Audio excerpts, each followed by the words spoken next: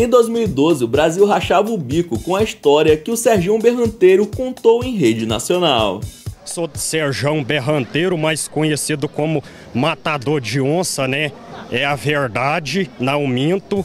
A fama foi tanta que Sergião participou de diversos programas de TV como Eliana e Pânico, cativando o pessoal pelo seu jeito bem simples e espontâneo.